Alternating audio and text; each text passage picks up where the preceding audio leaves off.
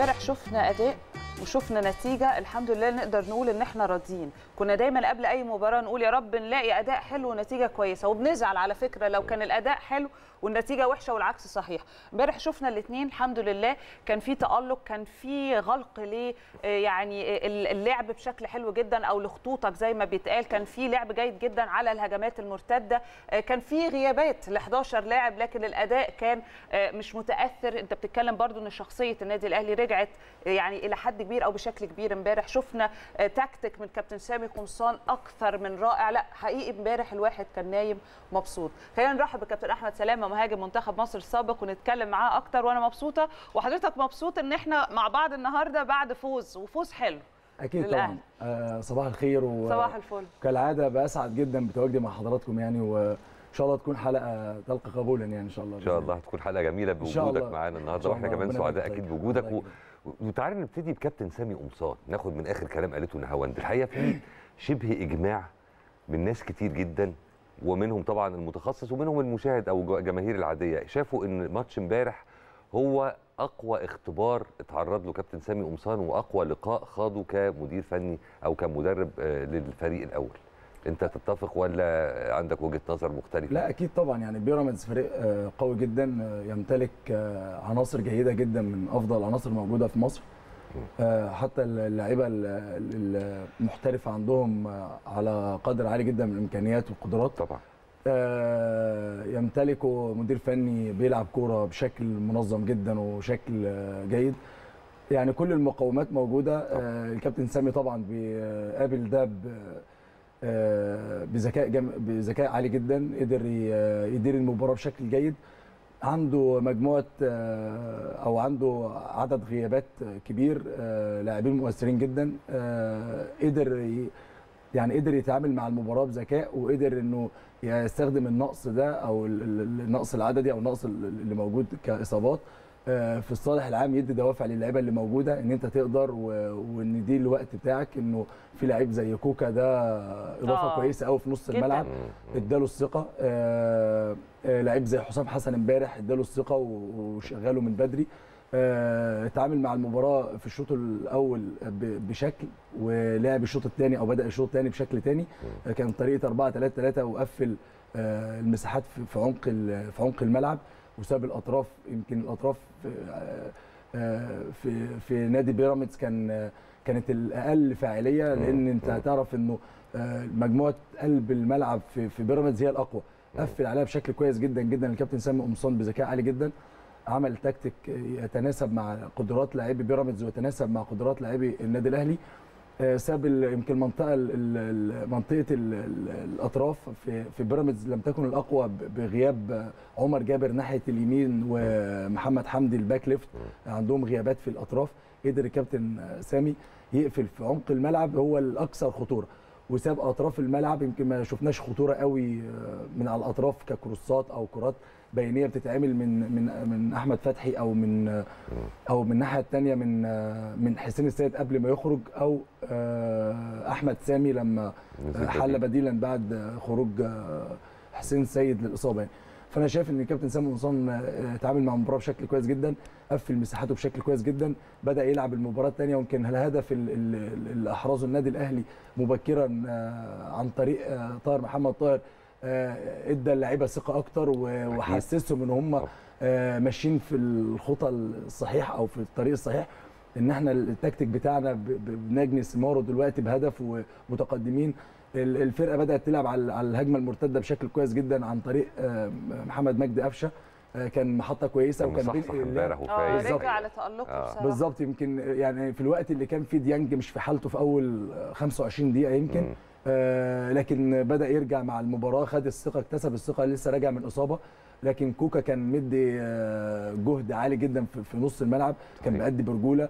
آه خفف الضغط شوية عن السوليه وعن ديانج عودة ديانج من إصابة والسولية يمكن بي بي بيعاني من إجهاد بقاله فترة. آه. نتيجة المشاركة المستمرة مع سواء في في النادي أو في المنتخب. طبعا. فلا كوكا عمل مباراة امبارح كبيرة. الكابتن سامي أنا بحييه على المباراة قدمها بشكل كويس جدا وطلع المباراة بال, بال بالاحتياجات اللي هو محتاجها بأداء حتى لو على المستوى الدفاعي كان جيد جدا وكان بيعمل التحولات الدفاعية للهجومية. ال defense لسه هنرجع له. ال defense أدى أو الاثنين قلب الدفاع أدوا بشكل كويس جدا سواء رامي ربيعة أو سواء ياسر إبراهيم. الاثنين عملوا مباراة كبيرة جدا امبارح.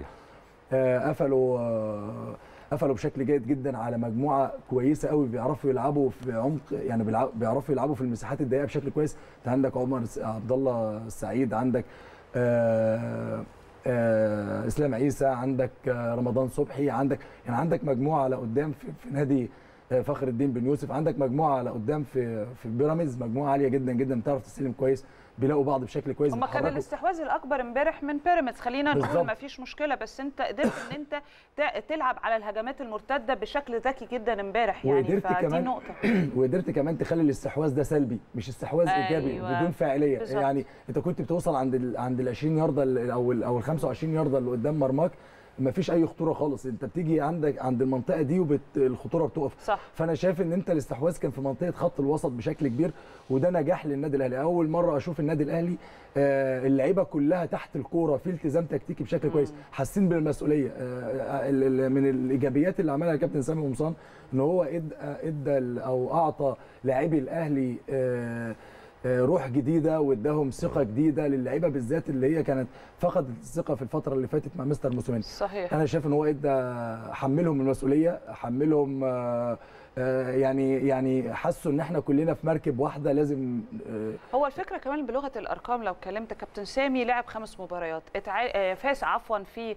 أربعة وتعادل في واحد فده كتوتل ده شيء عظيم جدا. طبعا يعني طبعا منهم يعني منهم منهم مباراتين كبار جدا يعني مباراة الزمالك و... تعادل 2 2 بعد بعد مكسب وبعد كده أيوة.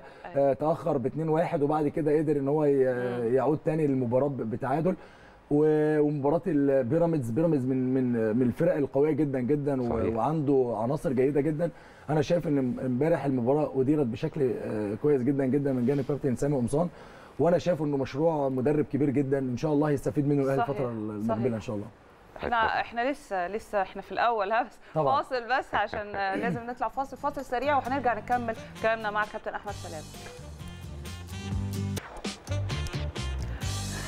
طيب. رجع كنا عايزين نعرف راجعين على مين. طيب خليني أرجع مع حضرتك أنا وكريم كابتن سلامة لأن أنا هروح للتحكيم معلش لو تسمح لي شوية لأن التعليقات اللي كانت على موضوع التحكيم كتير كتير قوي ومن وقت ماتش الأهلي والزمالك و... والناس بتتكلم هو التحكيم الأجنبي أفضل ولا لأ؟ الناس كتير أو التعليقات الأكتر كانت التحكيم الأجنبي سلس ما بتلاقيش مشاكل. حصل ده تاني مع بيراميدز طبعا والتحكيم اللي إحنا شفناه الأجنبي ما فيش مشاكل حصلت ما فيش حد بيعترض أو يعني في أزمة ما فيش حد بيضيع الوقت. بتشوف ده لمصلحة يعني الكرة المصرية إن يبقى دايما في تحكيم أجنبي ولا الموضوع المفروض يبقى مش كده؟ لا أنا شايف إن التحكيم الأجنبي لأنه بيدير بعدالة يعني هو ما عندوش انحياز لأي أي من الألوان اللي موجودة يعني. يعني أنا شايف ده متطلب في أي تحكيم حتى التحكيم المصري يعني بغض النظر. أكيد طبعا بس أنا هم بيطبقوه هناك باحترافية. يعني أنا ميول أنا الخاص أنا أنا حكم أجنبي أنا ماليش أي ميول لأي من الفريقين يعني مم. ما عنديش مشكلة خالص. وغالبا مش عارف اللعيبة بالظبط. وما أعرفش اللعيبة ما أعرفش يمكن الأندية. طبعا النادي الأهلي اسم كبير و... و... ومعظم الناس بتكون عارفاه بشكل جيد. مم. لكن لكن اللي جاي ده ما يهموش. يعني أنا جاي أنا بدير مباراة يعني بدير عندي مواقف لعب أنا بقدر آخد فيها قرارات. لكن أنا ما ما يهمنيش الأهلي يكسب بيراميدز يكسب الزمالك يكسب أنا ما عنديش مشاكل في في النقطة دي. للأسف عندنا يعني عندنا بعض الحكام المصريين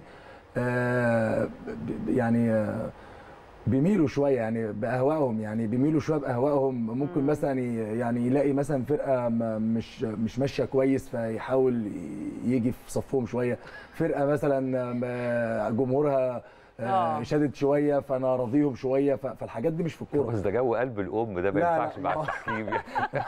المفروض إن الحكم حيادي كان مصري كان إسكندراني كان فيومي كان نرويجي. المفروض الحيادية تبقى حاضرة. إحنا الشعب المصري عاطفي بطبيعته فده بينعكس بينعكس على التحكيم خلي بالك العاطفية دي كمان ساعات بتخلي الواحد بيشوف حاجات ما يصحش إن هي تتشاف يعني. بالزبط. أنت عندك لعيبة ساعات بتبرق للحكم وفي بعض الأحيان بتلاقي رد فعل من الحكم فيه استجابة. استجابه للتبريئه دي ده ما بياكلش مع الأجانب إنجاز التعبير. لا الأجنبي هو بيدير الأمور هو أصلا أنت كده يعني وأنت داخل المباراة أصلا رقم واحد رقم واحد وأنت داخل المباراة أنت عارف إن الراجل ده جاي حيادي 100% طبعا. فبيبقى عندك قناعة من جواك إن أي سفاره طالعة طالعة ما لهاش أي مصلحة خاصة أو شخصية.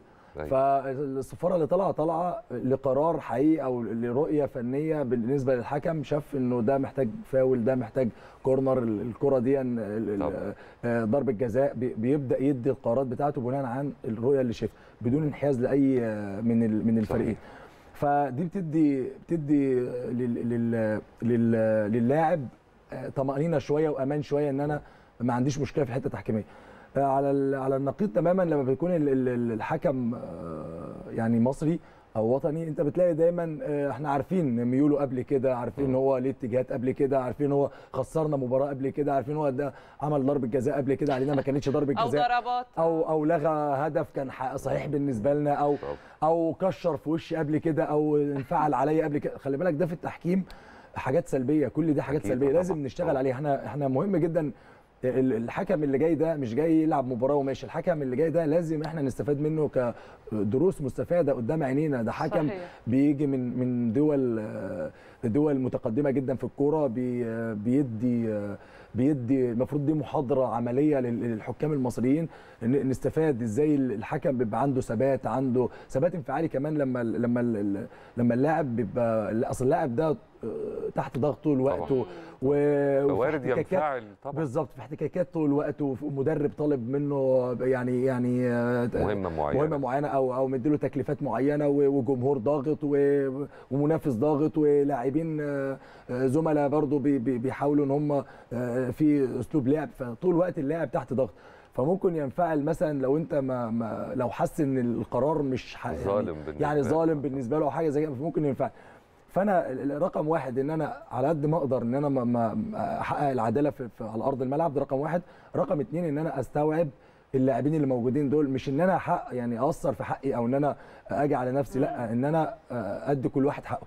أكيد أنت لو عملت أو حققت العدالة في الملعب مفيش لاعب هينفعل مفيش لاعب هي هيكشر واللي هيتعدى بعد ما أنت تحقق العدالة أيوة. أكيد عندك إن أنت تقدر تديله قرارات إدارية ككارت أو انذار أو أو الكلام ده. الحاجات دي بتردع اللاعب بشكل بشكل كبير. لو هو لاعب متعدي يعني أو لاعب يعني غير غير راضخ للقرارات يعني. فأنا شايف إنه لا في قرارات كتير جدا الحكم يقدر ياخدها لو حقق العدالة يعني. طيب هو الوقت بيجري بس يعني إحنا لو نقدر سريعا برضو نرجع معاك بس سريعا كابتن آه سلامة. لو رجعنا لحسن شحاتة وجيلك بقى والفرص اللي كان كابتن حسن شحاتة بيعطيها للعيبة الشباب تحديدا ولو جينا قارنا دلوقتي بالوضع الحالي وإعطاء فرص للشباب اللي بالمناسبة قدروا إن هم بمختلف الأندية بصراحة أو الفرق يثبتوا نفسهم بشكل حقيقي فبتشوف ده كمستقبل بقى لكرة القدم المصرية وللمنتخب إزاي ممكن يكون لصالحنا بشكل كبير؟ أنا شايف إن الاستعانة باللاعبين الجدد دي حاجة جيدة جدا وبيدي دماء جديدة للمنتخب سواء على مستوى الأندية أو على مستوى المنتخب. يعني ده بيدي دماء جديدة بيدي طموح عند لاعب عنده. في لعيبة بتبقى يعني تشبعت. يعني يعني في لعيبة ثانية بتبقى لسه أنا أنا لسه ما عملتش حاجة جعان عايز كورة يعني. بالظبط جعان كورة. أنا عايز أعمل لنفسي تاريخ عايز أعمل لنفسي صحيح. لازم أستفاد. الخبرات ليها دور كبير جدا والشباب ليهم دور كبير جدا. لازم نعمل آه يعني نعمل توليفة كويسة أو مزج أو نعمل ميكس ما بين الخبرات وما بين الشباب.